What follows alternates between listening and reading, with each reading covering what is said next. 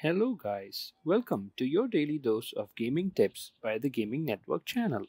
Today we'll be discussing on how to solve the three easiest and the most rewarding puzzles at the ancient temple in PUBG. Before I get started, if you're here for the first time, please don't forget to press the bell icon below to subscribe to my channel for future notifications. Let's start with the first puzzle. I call it the random one because the only way to solve this puzzle is by randomly clicking on all the tiles until you get the one that lights up all the other tiles and open the Pharaoh's crate. As you can see here, I'm randomly clicking the tiles one by one until I get it all lit and when I find the one, voila, the crate is open. Enjoy your loot.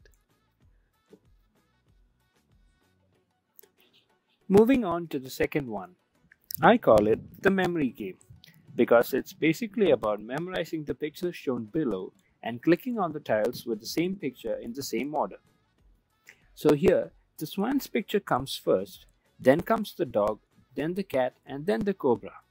Your job is to click on the tiles with the pics of these animals in the same sequence.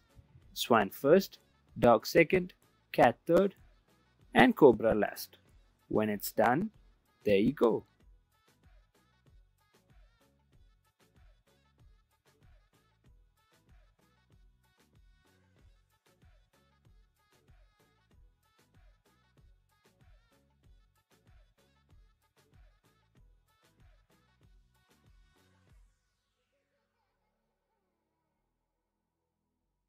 Moving on to the third puzzle, and I didn't get any names to call this one anything.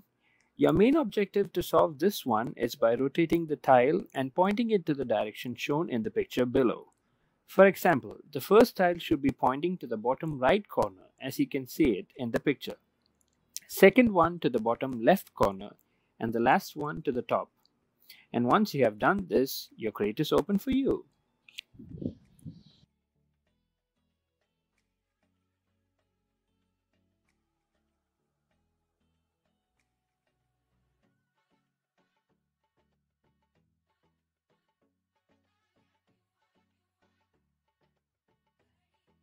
Bonus round. The last puzzle is not a big deal. That's why I didn't want to spend much time on explaining about it.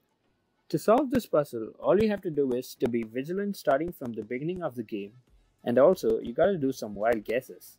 That's what I always do. It's basically answering some questions that they ask you, and once you answer them, the crate is open.